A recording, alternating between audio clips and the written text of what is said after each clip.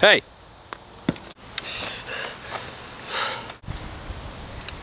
Who the hell are you? Eli Turner. What do you want? I've been traveling. I thought I'd rest for a while. Where are you coming from? Peach Springs. For what? I need some supplies from town. Give me your gun.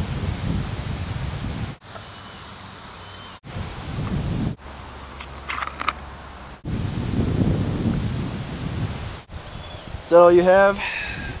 That's all I have. Can I sit now? Good. Yes, sit.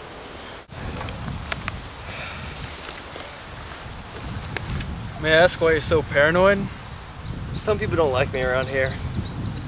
Why's that? Have you seen the posters? No, I don't think I have. There was a fire some weeks ago, but it's nothing to worry about.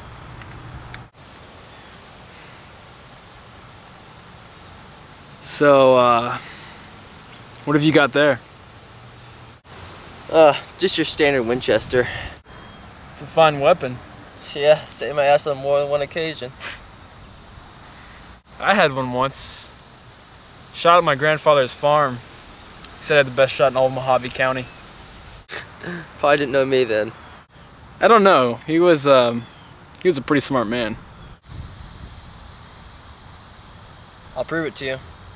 See that pine cone way over there? Yeah? Keep an eye on it.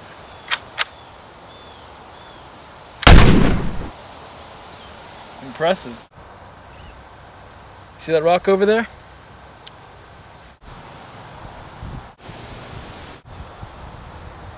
Can I have my gun? I'll give it back if it makes you feel more comfortable. Yeah, I'm sure it won't be a problem. Thanks.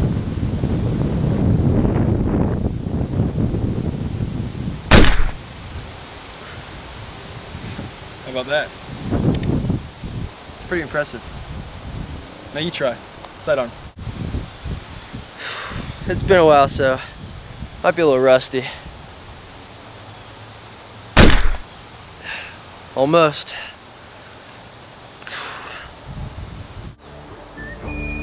Say, what's your name?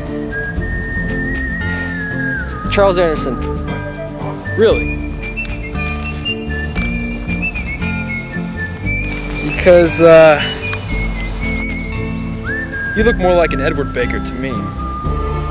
Is that right? You have an expensive name, Mr. Baker.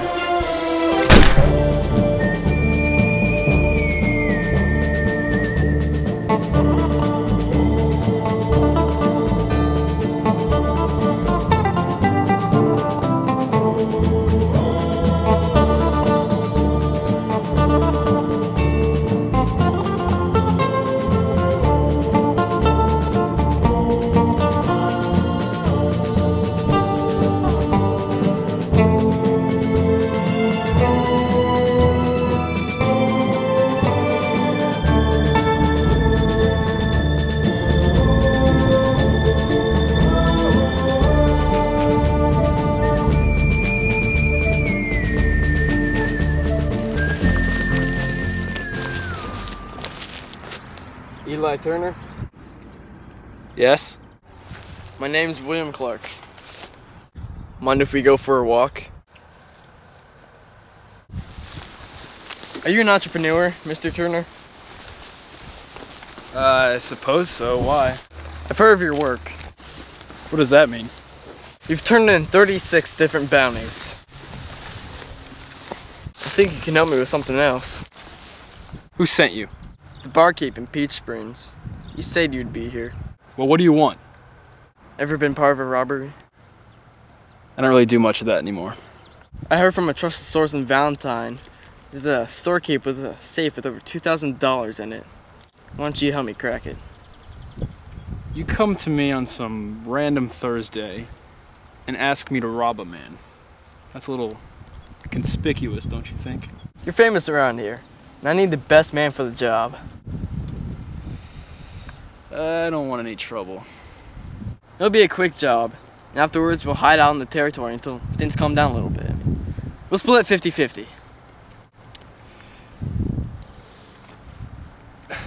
You know, I appreciate the offer, Mr. Clark, but uh, I'm afraid you sought out the wrong man.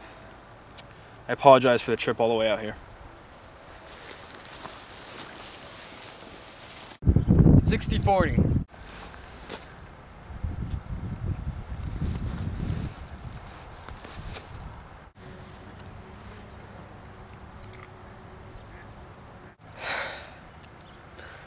Seventy thirty. You've got a plan? Of course.